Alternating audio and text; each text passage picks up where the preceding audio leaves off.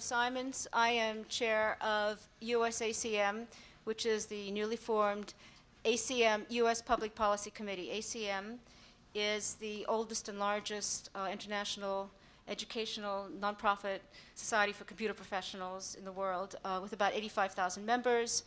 Uh, it was formed in 1947 and um, we are starting to venture into U.S. public policy issues. I should just say, uh, for those of you who are interested in these things, that uh, USACM has sponsored a study panel on encryption policy. Uh, we expect for that panel report to be coming out sometime in the late spring, early summer. Uh, unlike the uh, study which will be done under the auspices of the National Research Council, our study will not require a clearance to be read the whole thing. So we have a very illustrious panel here today, and um, I just want to briefly uh, introduce them. Uh, I've asked each of them to edit their bios because it would take us a long time to read all of their accomplishments. So starting from my far right is Mike Liebhold. Uh, Mike has recently been appointed Vice President Technolo of Technology at the Times Mirror Company.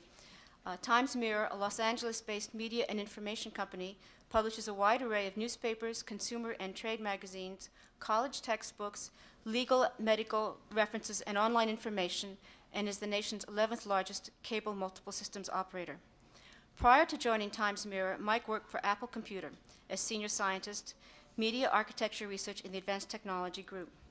During 1991 and 92, Mike served as a principal contributor to the CSPP, that stands for Computer Systems Policy Project, working on what we shall all fondly refer to as the NII, the National Information Infrastructure. He was chair of the Task Force on K 12 Education and the National Information Infrastructure and produced the widely distributed CSPP NII video. From 1989 to 93, Mike served as the chair of several special interest groups with the FCC, advisory committees on digital advanced television evaluating the, pro, the proposed uh, HDTV system, for interoperability with applications of the NII, including medicine, education, and electronic publishing.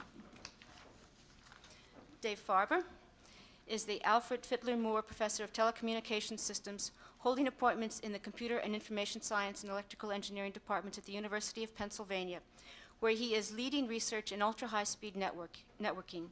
He was formerly with the University of Delaware and the University of California at Irvine Scientific Data Systems, the RAND Corporation, and Bell, Lab and Bell Telephone Laboratories. Dave is a fellow of the IEEE and serves on the board of, direct of trustees of the Electronic Frontier Foundation, fondly referred to as EFF, um, uh, and the Internet Society on the Computer Science and Telecommunication Board, which is CSTB, the, of the U.S. National Research Council, and is an editor of the Prentice Hall series in innovative computing. He is a fellow of the GLOCOM Institute of, of Japan. He is also a member of USACM. Immediately to my left is Bob Lucky. Uh, he's corporate vice president, applied research of Bellcore, the research organization owned by the seven re regional Bell operating companies. Prior to joining Bellcore in 1992, Bob was with AT&T Bell Laboratories, where he was executive director of Communication Science Research Division. Bob is a fellow of the IEEE and has served as executive vice president of IEEE and as president of IEEE Communications Society. He is also a member of the National Academy of Engineering. He has a PhD in electrical engineering from Purdue, as well as honorary doctorates from Purdue and New Jersey Institute of Technology. He has served as chairman of the Scientific Advisory Board of the U.S. Air Force and in 1987 was awarded the Marconi Prize for his contributions to data communications. He has written several books about computer communications and a book of essays about engineering called Lucky Strikes. Next is Marc Rotenberg, who is the director of the Washington Office of Computer Professionals and Social Responsibility, CPSR, a public interest organization of professionals in the computing field, which was started in 1982. CPSR is currently leading a grassroots campaign to oppose the Clipper encryption proposal. And for those of you who don't know what Clipper is, uh, I'm sure that will be defined during the course of the session. Marc Rotenberg is also an adjunct professor at Georgetown University Law Center, where he teaches information privacy law. Formerly, he served as counsel to the Senate Judiciary Committee, specializing in law and technology issues. Marc often testifies before the United States Congress on issues involving technology and civil liberties, including privacy, access to information, computer networks, and computer security. Next is Laura Breeden. Laura has been the executive director of the Federation of American Research Networks, FARNet, since 1991. FARNet is a nonprofit association whose mission is to promote research and education through the use of computer networking. FARNet's 38 members provide data network access to more than 2,000 educational, commercial, government, and research organizations in the United States and abroad. With their roots in higher education, FARNet's members are also leaders in the provision of service to K 12 education and students throughout the U.S. Uh, Laura holds a, B- a BA in University Studies and Education from Oberlin College in Oberlin, Ohio, where she was elected Phi Beta Kappa, and she is also an ACM member. Uh, let's see. Next, we have Fred Weingarten, who is Executive Director of the Computing Research Association, CRA, an association of academic departments of computer science and computer engineering, and industrial laboratories that engage in basic computing research. Prior to joining CRA, Rick was a senior associate at the Congressional Office of Technology Assessment, an agency responsible for performing technology policy studies for the Congress. He served several years as manager of the Communication and Information Technologies program at OTA. He was responsible for over 30 major project assessments on issues involving computers and communication systems. Prior to OTA, Rick was program director for special projects at the Computer Science Division of the National Science Foundation, funding research in areas of social impact, including privacy, system security, human interface, and network researching. He has also been working with USACM. Just before the break, I promised you that we would start talking about the Clipper chip when we resumed. Um, and therefore, we will have Dave Farber begin by telling you what that all means, defining some of the terms. Yeah, I'll try to be uh, very brief and not go into detail. Um, six months ago, it seems like like forever, but uh, the administration um, suggested a notion for a uh, an encryption device, which uh, would be uh, supplied.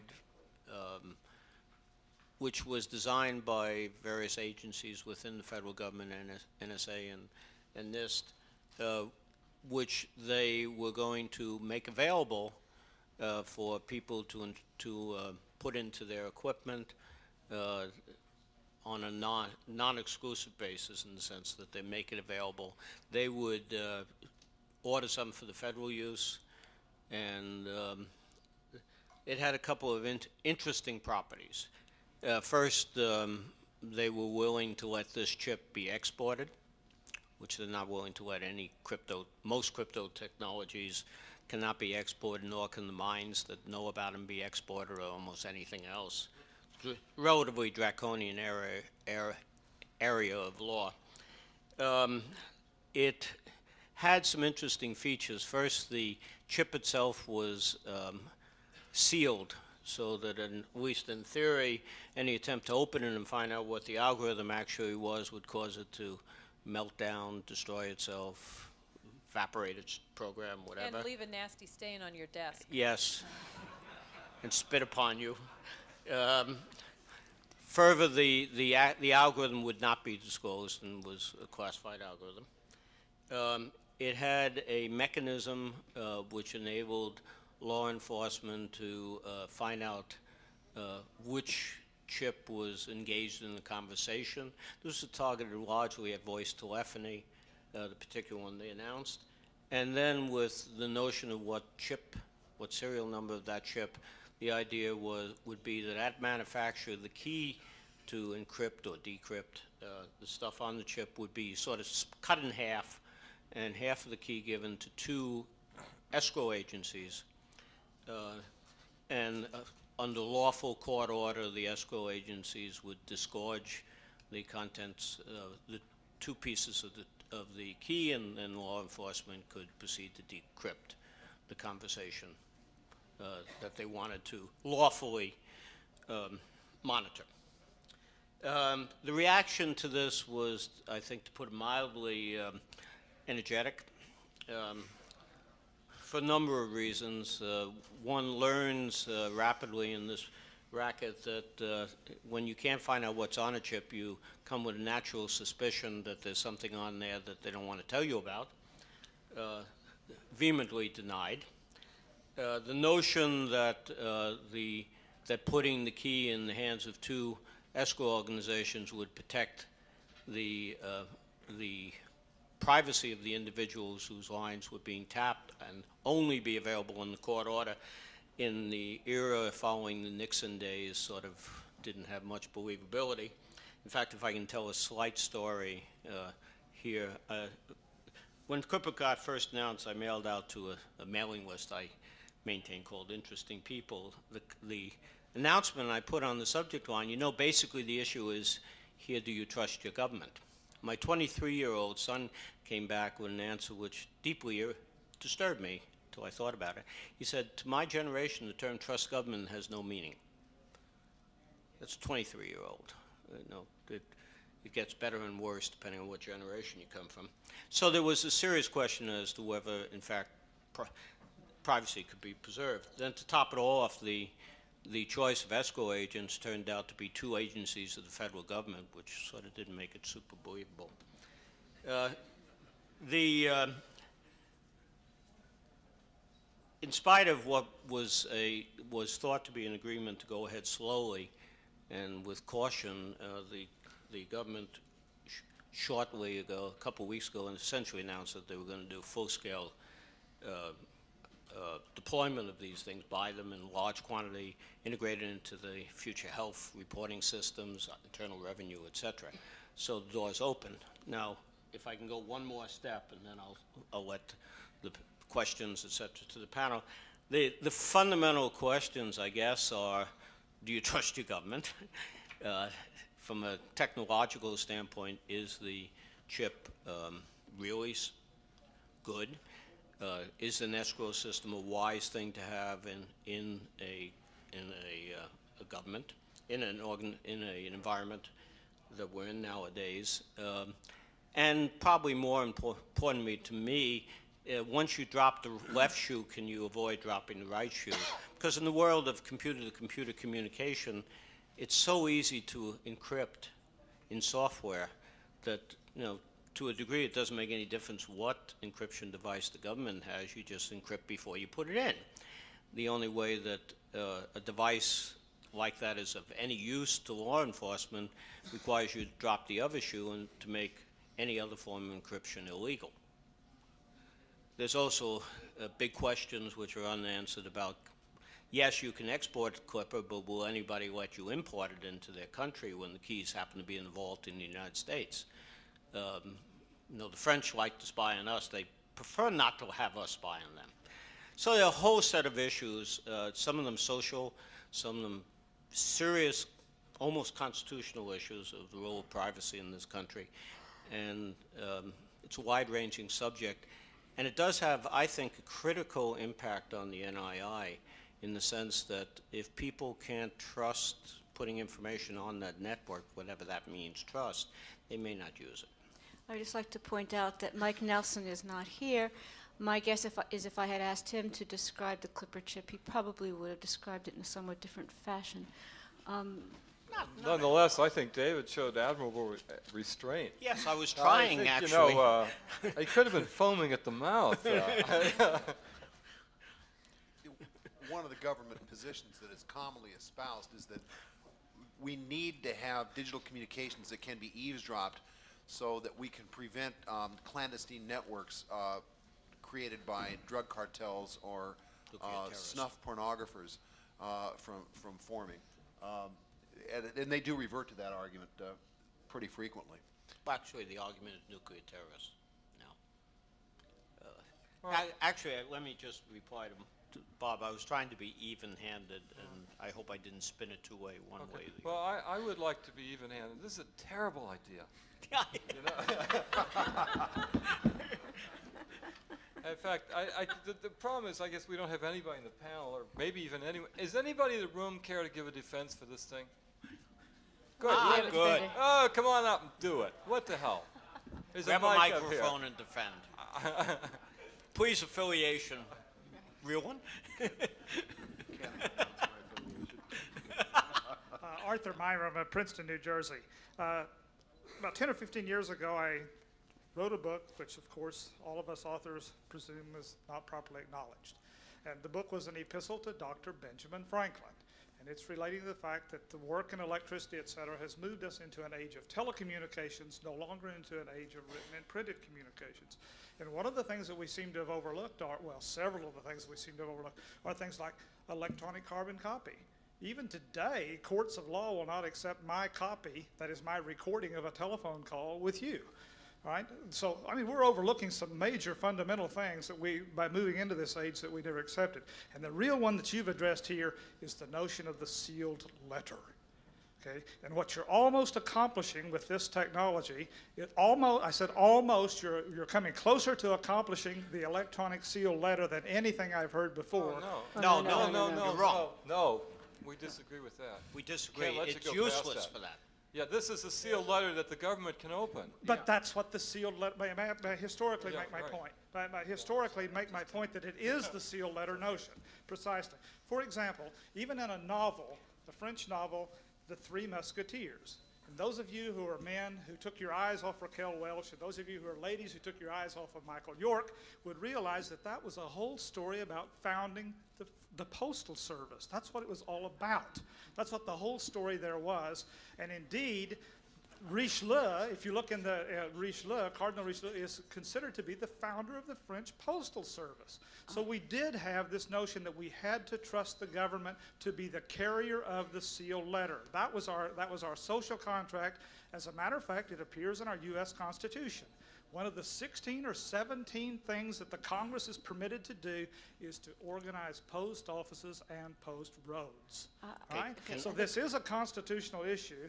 And I- all I- I'm trying to I say is that the sealed letter one is the closest thing we ever come to accomplishing it is encryption. And therefore, I think it's very No. defensible on just those bases. No, but let me, let me just address, Bob, let me try first.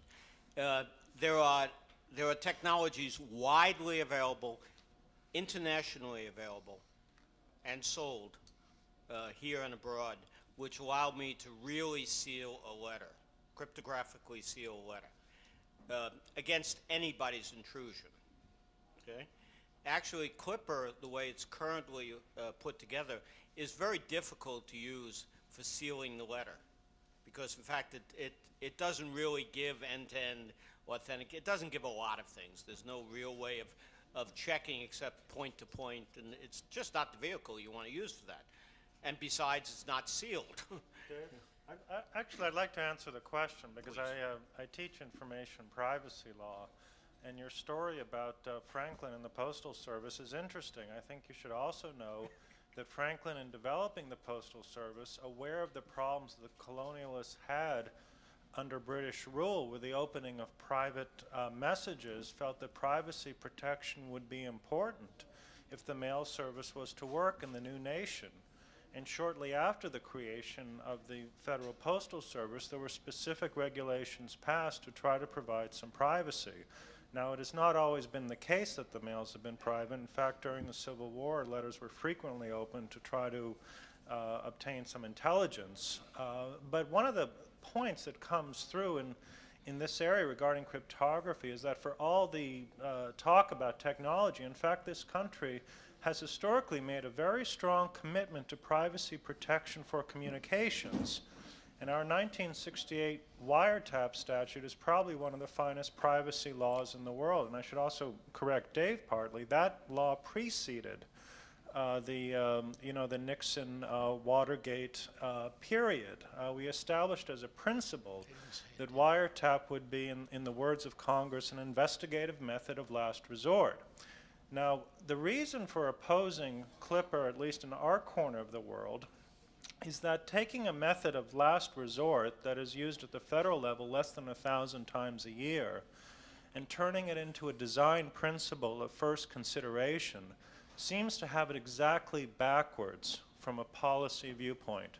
Put the technology aside, put aside fears and suspicions about government and whether you can ever regulate this stuff, because I don't accept those arguments either. Simply ask the question should we be designing today privacy protection or should we be designing surveillance? And I believe the answer to that question is we need to design privacy protection. Also, I just want to ask how many people here have a copy of this? Well, if you don't have a copy, please just pick one up. Could I just raise two points? One is, um, I always love to hear the Constitution quoted, and I always carry it with me. This is the second one. The first one wore out. Thank is God for librarians. information policy people, too. Uh, In Article 1, Section 8, it does indeed say that Congress shall have the power, and I quote, "to establish post offices and post roads." More importantly, of course, Amendment 4, the right of the people to be secure in their persons, houses, papers, and effects against unreasonable searches and seizures shall not be violated, and no warrant shall issue, et cetera, et cetera. The Fourth Amendment to the Constitution. Um, I think it will warm the hearts of some of you here that at least 10 of the 27 members on the Advisory Council at the last meeting expressed serious reservations with the Clipper chip. Not everybody voted, it was just a quick show of hands. Um, and that that will be one of the major topics for discussion at the March 18 meeting. So please do get your voices in there. Um, and I do think that, that Gore was a bit taken aback. I think he got some bad advice on this thing, and I think that we're going to see some changes in that. I sure hope so. They're going to hear from us. One of the uh, technical issues really is, is will unbreakable codes be available to everyone very, very easily in the, in the very near future? I mean, it- this whole thing could be a moot point if, you know, if your aver your freeware that you can pick up, you know, on the net or wherever, you know, you've got uh, pretty good protection, but the next generation of that, that, uh, that nobody essentially can break. In other words, any, anybody in the world will have unbreakable codes available to them very soon. Is, does Well, everyone agree with that? Yes. Yeah, the question, I think, is they're available, most likely now. But that's not necessarily a good thing. I mean, I, I really want to. But it's I a fa- I- uh, I the just question wanna- is, is a technical fact? I just Yeah. want to Yeah. really p- pursue this line for, for a moment because it's a critical consideration when people talk about public policy in the technology realm. Many things are possible. A great many different things could happen. The policy process is about trying to sort out the benefits, benefits and costs of particular proposals and maximizing the world in which we all live in. Now, the fact that everyone may have come today, you know, with a, with a handgun, for example, because there's inadequate security in the hotel to prevent that, doesn't mean that this is a good uh, situation. It means that we make choices and decisions. And so I think there's a, there's a danger here with this argument the government can't do anything about it anyway. That will take us toward a form of privacy survivalism. And I don't think that's where we want to end up. I think we need to develop policies and principles that we can live by. Well, But then, Marc- but then I think you have to follow up on what you say and have a rational debate about the costs and benefits, and, and I just really haven't seen that yet. I mean, I don't accept the fact that wiretap has to has to exist. I'd like to know the cost of taking that away. What is the cost to society if you can't if you can't get the drug people or whatever because of this? And I'd like to weigh that against the benefits. I, don't think you can accept that as a principle that the FBI and NSA have to have this a trapdoor. Rick? I'd, li- I'd like to just address some benefits for a second here. We, um, we hear a lot about the civil liberties issues, and I, and I, for one, wouldn't argue with any of them. I, I, I agree with all of them uh, fundamentally on, on personal philosophical grounds. I'm, I'm, I'm opposed to wiretap. But I think there's, there's a larger issue that kind of segues back from the previous conversation we had before the break. If you look at the way the national information infrastructure is, is being deployed right now, you're seeing a flurry of investments uh, from cable companies and telephone companies. Now, these people are primarily making investments not for any sound business reasons, but for defensive reasons. The telcos are afraid of, afraid of the competitive access providers. The cable guys are afraid of the telcos, and so they, they have to, to uh, invest billions of dollars.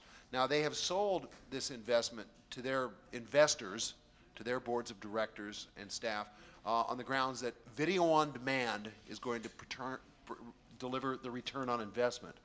There's good reason to believe that the replacement market for VHS tape rental is not adequate to pay for the national information infrastructure. And so if, if, if you look at those numbers carefully, uh, the balloon is going to start leaking air sooner than later. You know, pretty soon some of these uh, boards of directors of major corporations are saying, wait a minute, why are we building this fantastic new network?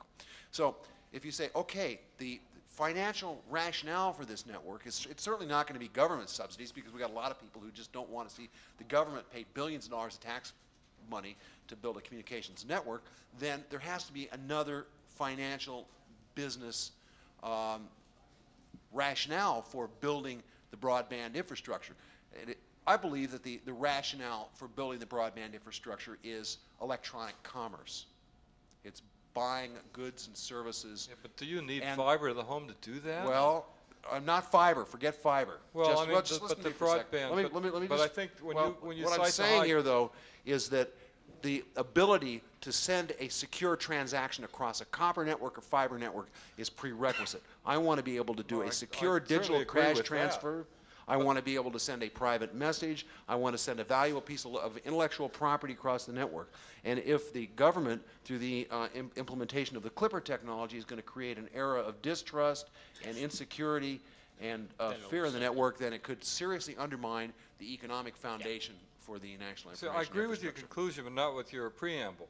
The idea that this is going to be so expensive that people are going to look for other things for this, because I think that the "it" you've defined again is, is the broadband, the video on demand to the home, which I don't think we should equate that with the national information infrastructure. But people are, as always. Well, But I Some mean, people are, but that's un- few would sort of argue that, that, unfortunate. that But it's I a bad agree. idea, though. The, the broadband infrastructure they're building is, is, is, has the potential of providing great benefits. So if they're going to Well- do it, great. Well, I think there's one thing that ought to be clarified by Gore and Company is, you know, is this video to the home, is that the NII? And if it is, uh, well, we get on with it. But I certainly agree with your conclusion about electronic commerce and facilitating that. And the larger issue here that is sort of woven into here is the whole question of intellectual property ownership uh, uh, and copyright uh, as to do with the NII. Yeah, I'd like to uh, return to Marc's point and maybe take a- a slightly different spin on it. Uh, I always get nervous when people talk about trusting or distrusting of the government, and it takes me back to my days at OTA doing studies on criminal justice information systems and seeing sort of the pained looks on the faces of the uh, uh, FBI officials or whether, don't you trust us when we would talk about policy in our reports. And it personalizes the question. I mean, the, the fact is, the Constitution that, that Tony carries around in her pocket is filled with distrust of government. That's the whole structure of our system is it is, so it's not whether you personally like it or personally trust the people that are in charge. It is bad public policy to trust the government. That's in the Constitution. And therefore, we need to address public policies that, that do quite openly distrust the government as a matter of, as a matter of public uh, uh, purpose. And that says that we need to have public policies that protect privacy. I would argue, in fact, that there are probably more new openings to surveillance in an NII of the future than there are protections against it. I mean, we, we hear a lot these days about how uh, the criminal justice system is, is being limited and hampered in their ability to, to uh, wiretap and track criminals uh, because of the new digital telephony. In the first place, there's little evidence of that. But secondly, there are far more openings to that kind of daily sur- uh, surveillance on the part of government. The fact that over the NII, all the transactions we make, uh, the programs we watch, the materials we read, everything we do uh, in life is going to be recorded in this system. Uh, that becomes a powerful tool for surveillance, and we really have to move the policy debate uh, away from what kind of, of, of algorithm ought to be used to, to encrypt and to, to policy principles and policy rules, very strong policy protections for personal privacy in, in this environment. Well, I don't, I think very little of the argument has been on the technology, actually. I want to make two points. Um, one is that we're talking about this thing as though it's some uh, far off, um, distant hill covered with mist. And in fact, any of you who lived through the furor on the internet over Lotus's market database, I mean, your information, your credit history, the kinds of things you buy, the kinds of publications you read, anything that you pay for with a credit card, all kinds of information that's tied to your social security number. Um, are already accessible, too accessible to all kinds of people, um, and with plain old computers and plain old telephone lines. You know, we're not talking about broadband digital images. We're talking about just bit streams, numbers, you know, one, two, three, four, five, six, seven. Um, so I, I think for us to, to I, I have this feeling that we're like not based in reality. I mean, we can talk about this now. We already know a lot about what happens when there are computers with large amounts of personal data about people stored on them. Am I correct, Marc? Sounds great. Um, so I feel like somebody's trying to distract us from the real issue, which is that it's already here. Um, and then, secondly, I have to tell an anecdote. I was talking to my insurance agent, who's um, an insurance agent, not a techno geek. Not he may be an investor in a communications company, but that would probably be the closest relationship he has to one. And we were talking about the information superhighway because you know he reads the paper like a lot of other people, and he brought up small business, and he was very excited about the potential for small businesses to link into the kinds of information that perhaps only big companies had had access to before. And in the same breath, he brought up the big brother scenario. And my point in telling this anecdote is that what's in the minds of um, the folks out there is that um, if the government is going to somehow be watching everything that we do across this communications medium, then it isn't going to work. And you know, I don't, I don't think that's being unreasonably mistrustful of government. I think that there is something very unnerving about that to a rational person. Uh, Laura, you brought up the you also brought up the issue of private corporations having information on people.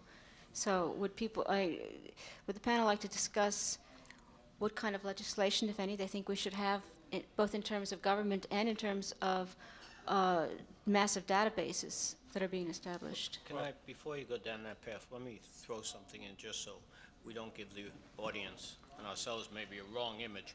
I don't think anybody of us is, is naive enough to believe we can avoid heavy encryption of information flows on the network if we're to make it a success.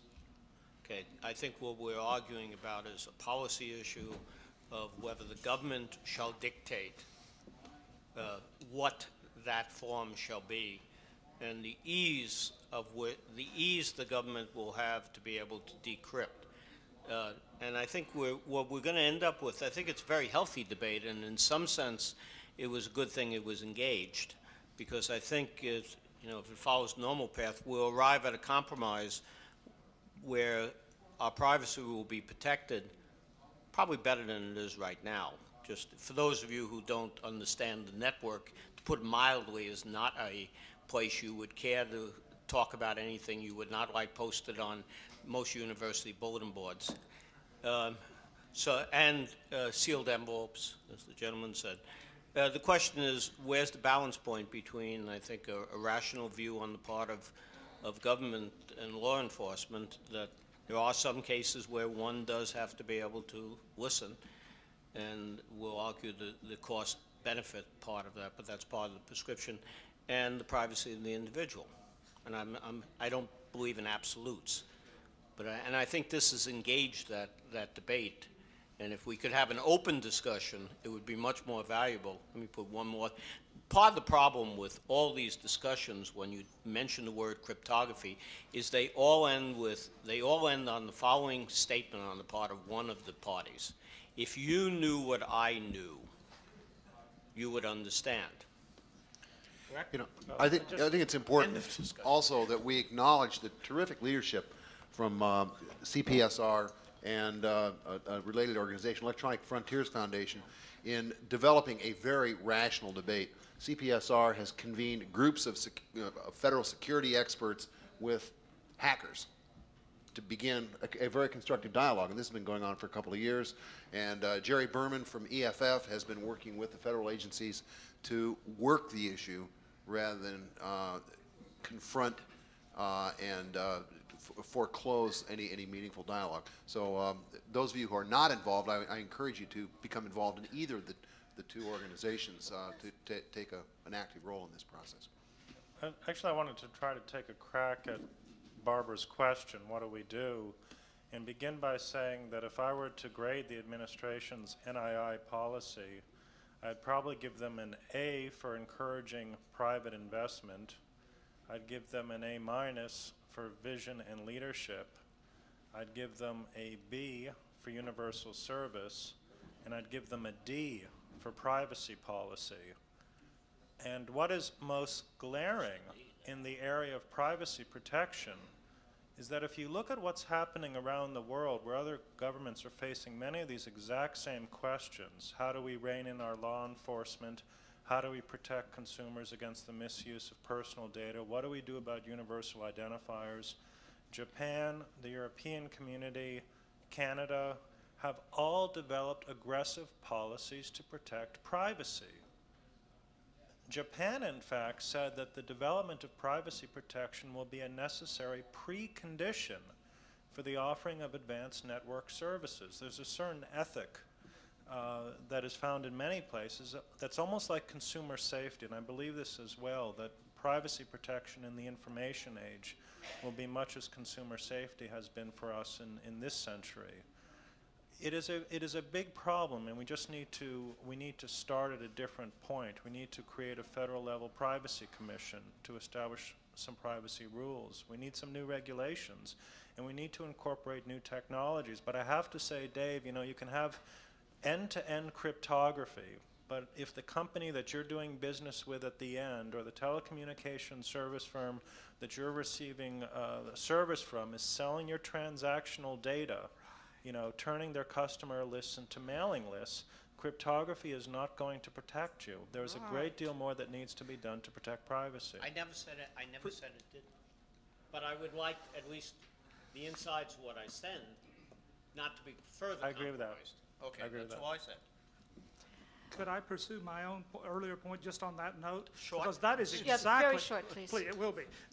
That's precisely my point about historically why the Postal Service was indeed established. You wanted a carrier you knew you could trust. Just for a moment, even if there's, just about, if there is indeed a government encryption, that still doesn't stop me as a user from putting an encrypted message into the encryption. But the critical Yet. thing, is- Yet. no, no, no, Yeah, and that's, Yet. a- that's the big thing, the yet. Oh, well, surely, sure. If I put in digital information, that whatever gets in there, it doesn't matter to the, to the receiver or to the thing that's gonna get encrypted by the carrier. My point is that the carrier, if the carrier has the encrypted message, he still has your message. And that's what I'm talking about. We had that, part of those 17, you may think that the Constitution was founded on distrust of government.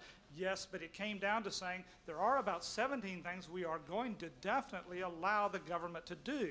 One of which is to Excuse- run the post office and the post service. And, and for the European record, I attended conferences uh, on, on Europe, and they have post, telephone, and telegraph services. They took up the telephone and telegraph and took charge of them. For some reason, we hid behind notions of privacy, et cetera, in this country, uh, even that, even though there are many, many Thank- legal thank scholars saying there's no please. justification Thank for, uh, the, uh, for privacy in the U.S. Constitution. Thank you. Uh, It's interesting, Ben Franklin, I will miss the quote, the uh, founder of our postal system said, "Those who sacrifice a little bit of, uh, a little bit of freedom for- for, for for a little bit of privacy deserve neither." Okay, um, Badly paraphrased. let's see, I'd like to go on.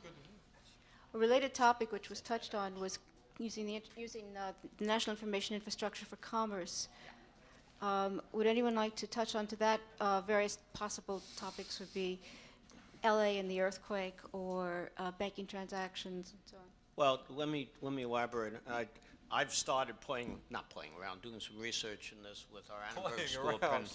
Playing- Freudian slip. Well, you always play in research. Um, I really believe that, that the information infrastructure will become viable when I can buy things over it. When I can pay you, rather than, than uh, having to set up a credit card and an account, when I see something I want, it's so easy to pay the two cents to, to the author of that document that I'll just do it. Now, our current mechanisms for doing that are, are almost hopeless. Now, I- I give them a credit card for two cents. Uh, I establish an account to every company that might offer information in the country because I don't know which, we don't have the mechanism. What I'd like to be able to do literally is take two cents and fling it down the electronic wire and have that person get two cents and gather up 20 of those two cents and pay somebody else 80 cents by zooming that down the wire. That's technologically feasible. Uh, there are several banking banks that have demonstration systems running that give that capability. They're protected. They're done reasonably well. They, they don't guarantee complete anonymity, they guarantee effective anonymity. When you can buy and sell things over the network, I believe that a lot of our intellectual property problems will vanish, uh, assuming for a moment the innate honesty of the American public, which I think is there actually. Uh, if it's easy to do, they'll do it correctly. And I think it will stimulate business and the use of this the way we've never seen it stimulated before. Let me just address, well, since the earthquake came up, there's a beautiful test case about to go on in Los Angeles. And one of the things we keep talking about electronic, using the NII is telecommuting. Keeping them off the highway, letting people work at home, better yet, letting them move to where they'd like to live. Uh, that's been, there are a lot of people who telecommute.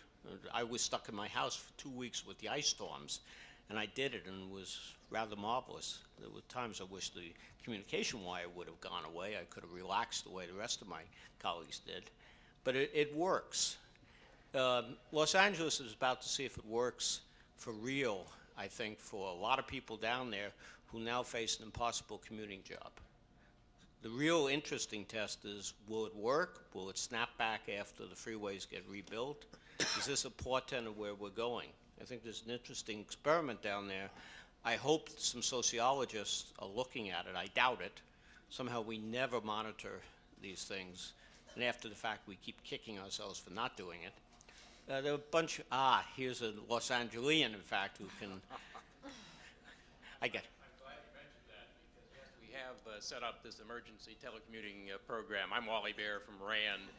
And uh, one of the things we are trying to do, in fact, is to see uh, how much this changes people's behavior in the short run and also uh, in, in, the longer run. There have, in fact, been about uh, seven telecommuting centers operating in the LA basin over the past couple of years, and they've had a, a certain level of success, but we certainly expect that there'll be many more telecommuters now. Uh, we're looking at the, the, San Francisco history, and uh, some of you uh, may know more about the good deal more about this than I. But unfortunately, it appears that after the earthquake up here in '89, it took about oh, six months or so, and people pretty much went back to their old habits. Uh, but uh, yes, the answer is we, we uh, hope to get some data on this and to be able to say just how much change in behavior this particular event um, led to and then how much of it persists after several months. But Dave, I have one question for sure. you since you brought up electronic commerce. I agree with you. I think it's a very important, maybe the maybe the killer app yeah. for the NII. But uh, how does it uh, relate to the so-called internet culture that says uh, information's got to be free? Is that just a transient that we've seen over the past, uh, you know, few years, and as this gets bigger, it will just I think actually kind of merge into the commercial infrastructure? Yeah, well, I think several things would happen. I don't think that the internet culture uh, demands that everything be free. Uh, in fact, there's a, a roaring, uh, you know, what do they call it? Not free software, um, um, shareware. shareware thing, and it and it works. People post and they seem to get it. Be much a hell of a lot more convenient if I could just mail them the fee and get my thing back rather than have to go through credit cards. I think the same would be true of, of access to documents. I don't think it's built in that everything is free, no. but you have to get value uh, returned. So I think it will. I think that would move over very easily, and and I don't think it's adapting the internet culture. I think it's, what's there is adequate. Dave, you, you said something that I'm a little hung up on, that, that if we had a way of paying for things over the NII or the internet, that the intellectual property problems would go away. I can't agree with, I cannot agree with that, but um, I, I love your two help. cents. I love your two cents solution, because indeed, if everything costs two cents, I would definitely pay for it all. But I don't see, I don't see a way that, that most authors would recoup their investment. Okay, let me so give you an example. On, on the two cent basis. Well, two cents was. Uh, uh, no, but no, that's great because that would be the perfect answer. But nickel See, it's not free, but it's at some nominal level. If you can right. make it a nominal level, make it so easy, then I'll pay for it. But the, the problem comes. Example the authors and the and the people owning copyright they want you know they want large fees and absolute control well, and that isn't going to work. But well, what can happen though is a commercial provider can create a gateway right. that will do the transaction management for private intellectual property. So you will indeed establish an account with an information vendor. Yeah, but the problem is, once I bought it, I can distribute it. I mean, that's, that's a Now, Let me give you an information, yeah. example, uh, Bob. Let me, let me go into a mosaic world, a hypertext world, okay? So I want to chase down a link to get a, an interesting document there that's dynamic. It's changing, you know, the, the temperature. I go down actually a link to get the current weather, right? That the worst, the, the most useless thing is, is a copy of somebody else's weather that's two days old, right? I don't want a copy. I want to know the weather now. When I link across that, that hypertext link, I can, I'm perfectly happy if a two cent token or a 10 cent token or a 20 cent token goes down. And the fact that when I come back, I can give everybody in the room a copy is fine. But next time I go down, two more cents. Maybe I structure books that way. Well, well. No, it's a no, I don't- change of, of market, uh, That's fine, market. but let's take a book, because that's a, maybe a better example. I mean, there was a Stephen King novel that was apparently, you know, distributed on the internet. I mean, uh, that's, that's a little different thing. Now, once I've got the book, I can redistribute it for free. It's this annoying property of digital information now that I give it away, but I still have it. And there's no way you can stop people from doing that. And the same novel is going to cost, you know, 20 bucks or 6 bucks in the store, depending whether it's hard copy My, or paperback. my, uh, some of my relatives, I will not mention the particular one, uh, discovered quite a while ago that for five bucks they can go take a, t- a textbook and duplicate it on the local Xerox machine and return the book to the bookstore. Uh, you know, in fact, if you overprice things, people will do that. Can I just say something? This is not a new problem. And if Tony were to hold up her constitution and we saw there the authority to promote the, uh, the arts and the useful sciences and the granting of patents, intellectual property as a legal concept has predated computers, it's predated digital information. You could take someone else's invention, you could take someone else's idea and duplicate it. Now, it may be the case that in the internet environment we have the ability to duplicate on a fantastic scale. Yeah, I think But the problem hasn't really changed. And so, once again, this underscores, from my viewpoint, the need to make some policy decisions. We need to decide what type of incentives do we want to create for authorship in this information world, because incentives do drive investment and they do drive creativity. And we need to balance that against some commitment to public access and, and use of information, because even in awarding these intellectual property rights, these are limited monopolies. They don't exist for all time and for all purposes. They're not supposed to act as barriers to other types of creativity and innovation. That's a long-standing problem. It's become a lot more interesting in the last few years, but that's exactly the type of problem we need to focus on to make the internet more attractive to authors and more useful to consumers.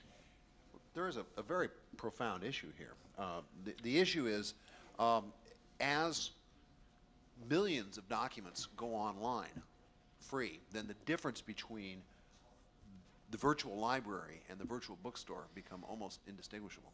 And the virtual, we're not just talking about books now, we're probably talking about movies and music and recorded speeches. So um, everything um, that uh, the human knowledge bank uh, can, can go online in the public library. So that there's, the, there's a really serious question uh, over how artists, authors, and publishers are going to make a reasonable return on their on their their work in, in an environment where it's really um, increasingly easier to make a, an illegal Xerox or an illegal uh, sound sample. Yeah, Marc, I just have to say that I, I, even though in theory it's an old problem, I really think the circumstances now are so different that, that the problem really needs rethinking. Although I agree with your conclusion that you know we've we've got this is something that needs re- resolving, but I just don't. I feel like it's really different today. You know, it's too easy now to copy and distribute things.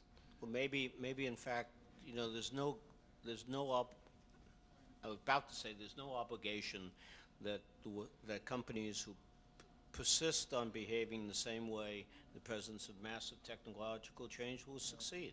Yeah, but And, you know, authors can in fact create things which, uh, which will yield revenue. It may not look the same as a book. Yeah, I, I think that, that as we live with this, things like that will happen. But I think like the analogy of copying a book on a Xerox machine, it, it, it doesn't hold because now I can copy that book with a touch of the key and distribute it to my hundred closest friends. I just want to say that, you know, truly, Bob, this debate has taken on a much greater magnitude in the areas involving um, uh, phonomusic recording and the use of DAT tapes. I mean, their producers and artists were so concerned that the ability to digitally replicate uh, music could undermine the entire music business in the United States. The technologies were redesigned and rebuilt solely to control that type of copying. Now, this is, I think, on the one hand, um, I guess the point here is we have to be careful that we're not too. we're good not or bad? Well, i- it's neither good nor bad, but we have to be careful in our view of these types of issues. We not become so uh, internet centric that we don't realize that these types of issues of balancing incentives versus public use arise in many different areas involving new technologies. I think that's a very important problem Right. to solve. But, but see, I'm really in favor of the balancing. I don't think let the artists control this. And I don't think you can let the existing legal system control it either because I think it was based on, on, you know, on, on metaphors that no longer are true. Uh, but I, th- I think we do have to balance these rights again of the artist and, and, and the return for intellectual investment, but uh, the rights of the public too for, for use, like we did in the, uh, in the case of the Sony uh, uh, videotaping. The Supreme Court had to really uh, decide these. And, and when Xerox machines first came out and the whole issue of, uh, you know, of sort of what's, what use is going to be okay, and we worked it out. Yeah, Rick? Rick? I, I just wanted to take advantage of the fact that we're here at a AAAS meeting and um, point out that these, these debates right now are being played out in the scientific community and um, yeah, over pol- policies in the future for electronic journals and electronic publications. And they're going to be very complex. Furthermore, I, I, it strikes me that the, the particular balance that the research community will care about may be a different balance than we would have when we think about commercial novels and other uh, commercial publications. Uh, that the, um, the balance that we've heard struck between access and, and free flow of information and property rights for the creator are, are just handled differently in the culture of scientific research. And one thing that I would worry about, in fact, is that uh, a kind of a global resolution of this for the NII of the future, uh, that balance may, in fact, uh, be to the detriment of, of scholarship and, Well- and the needs of the scholarly community. If I could just add one point to that, Rick, I, I agree with you very much, and I think one of the goals uh, that we need to focus on is picking the right models, picking the right metaphors, I think, as Bob would say, as we develop policy. A lot of our economic models are based on scarcity. I mean, that's how we determine price. But in other settings, particularly information environments, the research communities, libraries, and schools, where there's opportunity through digital libraries to create abundance, we may have enormous opportunities to disseminate information at very low cost that we've barely begun to explore. So I think we need a nice, you know, array of, of analogies to, to look at and decide which are appropriate for certain settings. So I agree, you know, with what, with what you're Yeah. saying. There's, a, there's another balance here that this brings to mind, and when you talk about the technical journals, uh, and that is the, um, the role of publisher, uh, you know, in the technical journal, the publisher, uh, the editor decides what to publish and, and puts a sort of a stamp of approval on it or, uh, you know, some sort of a merit badge on that. Uh, Laura started out on her first statement of, you know, the need for two-way in the sense that everybody can be a publisher of information. But unfortunately, that works to my detriment in some cases, and particularly the scientific thing. When everyone's a publisher, and I can't sort out the good from the bad, uh, it, it so dilutes the good information. The role, the role of the publisher won't be the physical reproduction of things, but the choosing of things. And, and that's an important role to play here. And, and both will exist. Will, just like we have mediated news groups as well as uh, the, uh, the freewheeling ones. follow on on that. Um, there's an interesting example. I publish a, a mailing list called Interesting People.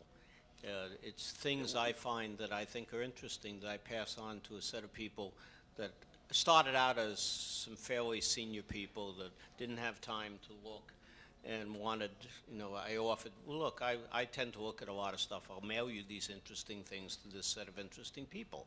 They have 5,000 subscribers now, and they join at about five a day. Um, I'm essentially a publisher, but it's an interesting publisher. If they don't like what I supply to them, if they don't like my filters and my taste, they drop off. So far, I've gotten one person dropped off, which is pretty good, actually. Uh, but that type of, of, you know, Edward Bellamy, for those of you who read back in that, uh, Edward Bellamy suggested the newspaper of the future back in his Looking Backwards, I think it was, uh, novel, and that's happening now. Maybe Interesting People is the first of that breed, but I think more are starting to arise now. And you're right, the publisher has a totally different um, or the editor, I'd like to call it, has a totally different role in life. They're the selectors, and eventually they'll get paid on the basis of their choice. And back to scientific journals, the editor who consistently pub- passes through the good scientific journals and controls it carefully will be subscribed to. Those who don't will fade away. Let me take That's up fine. on, let me take up with a question on following up on that. Every editor and publisher Oh. lives with the possibility of libel and slander as well. And I want you to jump ahead to the last question on Barbara's original list about in a ubiquitous network, how would libel laws apply? I don't know that libel is any more the definition of what one would put on a network. Would it be slander? How does one hold another person accountable for uh, false and malicious statement uh, which would tend to injure or defame? And then, if everyone indeed can become a publisher, uh, what about issues of taste and you can use whatever imagination you need to to imagine what might happen on a ubiquitous network. It already and then has talk happened. about It's happened I mean, already. I, yes, I don't think that technology and networks are going to remake the human personality. Um, and I think that you're going to have all kinds of information published from um, the Bill of Rights to snuff pornography, and that that's part of having a human medium of communications. And you could say, well, we shouldn't have language because if we didn't have language, we wouldn't have hate speech, or we couldn't shouldn't have writing because if we didn't have writing, we wouldn't have you know graffiti that are defaming. I mean, you you can't make those kinds of arguments because it's not the technology. But the other, why don't you go and then I'll go. I, I can answer Well, that well- question. Repeat the question. I can answer that question. Well, you ask how, what type of legal framework do you anticipate to resolve at least some of these concerns involving libel? There was a very good opinion, my personal opinion, a very good opinion three years ago in a case involving libel on CompuServe. Uh, the name of the case is Cubby versus CompuServe, and in this instance, there was uh, one industry newsletter that was being distributed through the CompuServe news service that um, slandered another industry newsletter, and all the parties agreed that the statement was slander. And the question was, was CompuServe responsible for the statement distributed by the newsletter? Now, the reason, of course, that question arises is because these folks have no money. CompuServe has money, and that's why the action is brought against CompuServe. Now, the judge, in looking at that particular question, reached what would almost seem to be, from both a layperson and a legal viewpoint, of a, a paradoxical re- response. He said, well, you know, if you think of this uh, as a traditional First Amendment publication problem, and someone before asked a question about paradigms, um, publishers are responsible for libel. If the San Francisco Chronicle libeled someone in their in their newspaper, they could most certainly uh, be sued. Uh, so the First Amendment doesn't protect you uh, in actions by private parties. But at the same time, the judge is thinking, you know, this is a very important information environment, and we want to encourage a lot of open and unfettered speech. If we analogize CompuServe to the morning newspaper, a lot of these companies, Prodigy, America Online, so on and so forth, are going to be very careful about what they distribute. And he said, doesn't this really look much more like a bookstore or a newsstand or a library? Really, an information conduit where we wouldn't hold responsible the bookstore owner or the librarian or the guy running the newsstand for every word on every page that's available to the people that come into the shop. And, you know, I saw this opinion and I thought, this is someone who's really uh, sort of wrestled with some of the metaphors, has a very forward-looking view. Of, of course, the, the, the attorneys for the people who brought the suit weren't very happy about all this because they were looking at this big suit they were about to win against CompuServe. But it's that kind of decision um, that gives me some hope that if the right institutions of government are given enough information, uh, we could have some good laws. I mean, we could have laws that reflect the new information environment, uh, that promote the type of open and unfettered speech we want. That's not a complete answer, but it's, it's pretty close. Retailers and distributors in England don't have that Right. protection and are regularly nailed for something like that. Right. The- how they get at some of The comment, the comment is that in England, retailers and distributors do not have that kind of protection and are regularly nailed. This is somebody, as John Barlow put it, our, our law and our constitutional local ordinances in cyberspace. We have to remember that. At the same time, though, I, I, I think this is probably going to be perpetually the most difficult battle Yes. we'll have. It, it is a fundamental conflict on what we want in, in society. I mean, even now in the U.S., uh, bookstores and record dealers are constantly hassled in, in various parts of the country because of the way the, the obscenity laws have been interpreted and, and put forward, but you, all the way up to the Supreme Court. Uh, we, we want free and unfettered speech, and large groups within our society want free and unfettered speech as long as it doesn't offend them. And, and I, I really don't see this as any more resolvable for the NII as it's been resolvable for print. And it's never been, it's this funny uneven balance that sort of shifts around uh, as we go through, uh, as we go through life. But it's, it's not something that we've ever been able to solve as a society. And I think the NII is going to be the, the same kind of environment. The balance is shifting. If I was moved to be obscene in this room, it would be a fairly limited demonstration. If one were moved to be obscene in the future information infrastructure, it could be vastly magnified. So could a slander between two Wait, individuals. I could please don't- but stand by the mic. Yeah, you've got to talk on the mic if you're going to. No, that's okay. We'll repeat what you just said. You're saying that the bal- you're saying that the balance is shifting. Um, that he could be. You could say something in this room and probably not be bothered, but if you were to say it on the on the superhighway, the future national information infrastructure, then there is the danger of slander. And so you're saying that there's a difference. I guess what you're saying is that we're talking about magnitude here. Let right? me, let me point out something. One of the joys of the uh, current prototype NII, I'll call it, the internet, is that in fact it is, um, it is neutral with respect to almost everything except what you write. You can't tell age, you can't tell sex, you can't tell anything.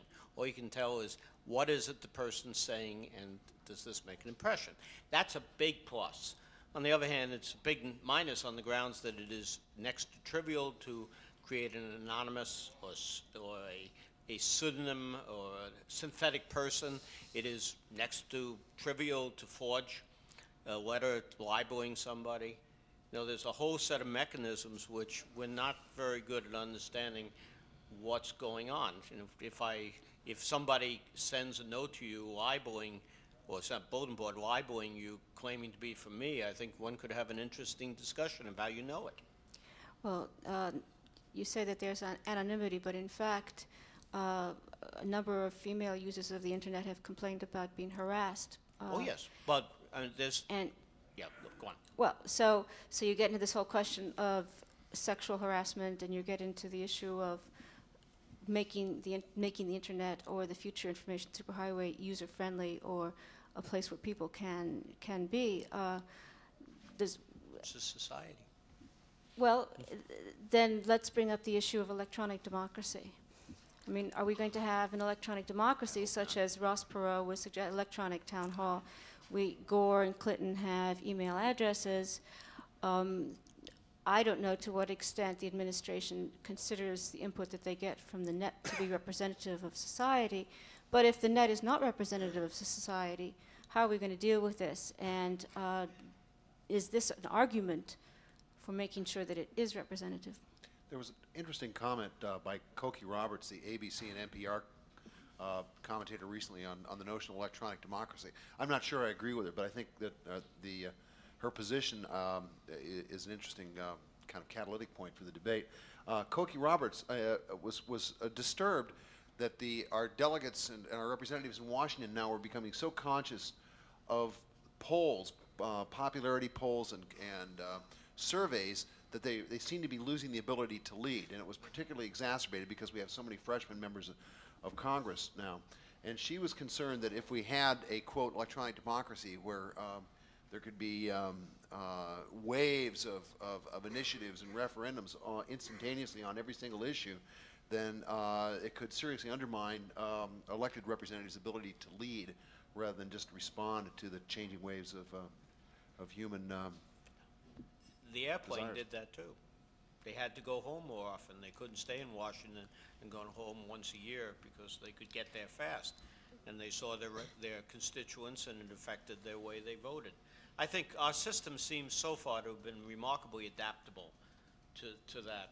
And I suspect it will be adaptable yet again. I think what Barbara says is true, that the internet uh, users are not representative of, of the population. Uh, I don't think you can legislate that uh, right now. You can certainly work to make the access available for other classes of people, but uh, uh, right now, certainly, you know, I notice polls that are done on the internet, and they always come out different than the polls that are done by the polling experts who try to sample the population the right way. The internet is definitely different, and probably will stay that way for some time.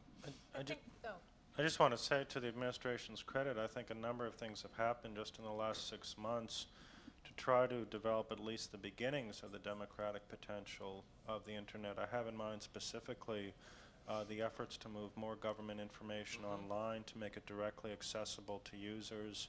I know that the activities of uh, the IITF that Tony Bierman has been participating in have been widely advertised to internet users, and minutes and reports are put up at FTP sites so that people can get that information. I think it's very important when you're thinking about electronic democracy that there's more at stake uh, than simply voting. Uh, polling is, you know, the final step after what is supposed to be a public debate and discussion and informing process on important uh, policy issues. Uh, so you hope that what the uh, internet will promote is not only that, that last step where you call the 900 number, which people point to today as, as a crude form of electronic democracy, but that real uplifting of information and informing and, and participating in, in discussion. I think that would be, uh, frankly, a very good development if it, if it could be encouraged. I want to underscore what Marc said, um, and just to observe that there's a downside to the whole notion of multimedia. When people are shown images that, which have high emotional content, starving children, victims of the shelling in Sarajevo, um, then they tend very quickly and immediately to um, have a response that might degrade over time if they had not um, seen those images. And, and I think that the situation in the former Yugoslavia is a an excellent example that we're living through right now. I mean, the, the, the fact that these horrific pictures were shown on television all of a sudden creates a groundswell of public opinion that makes it possible for us to go and, and uh, with NATO get mobilized in a way that we haven't been mobilized for 22 months or however long the thing has been going on. And the, the downside of that is that um, the people who show us those images on television are quite sophisticated about how we're going to respond, and that the emotional content of those images um, or if or sound bites if, if we're going to get a talking head tends to be very high and the information content tends to be rather low. And so if our if what electronic democracy means is that they're going to show us pictures of um, uh, war victims or famine victims in five different parts of the world, and then we get to vote as a people on which famine we want to relieve first, um, and Congress will immediately electronically ship dollars off to that part of the world so that those, I mean, you, you get into this sort of queen for a day mentality. I, when I used to be, um, stay home from school and be sick when I was a little girl, did anybody ever see Queen for a Day? They would have these three, I, I I cannot believe it now looking back on it, they'd have these three women who were like, you know, um, I have cancer and my husband ran off and left me and my washing machine broke and my dog bit the mailman and now I'm being sued by the town. And the next one would have an even worse story. And, the, and then the audience would vote and there'd be a meter, you know, you'd applaud and the, the woman who got the most sympathy for her plight would get a cape and a bouquet of roses and probably a new washing machine. And this went on day after day after day. And if that's what we get for electronic democracy, then I say that we've, you know, failed mightily and that we need to be aware that it's very easy for us to be manipulated, especially where pictures are involved and where our response is measured in instants, where there isn't time for the kind of reflection and, and debate that Marc is talking about. I'd like to just say one thing very quickly about democracy in general, the health of democracy as a result of the, uh, the information age. You know, if you look back in 1965, um, average household got something less than seven TV channels and a choice of one daily newspaper.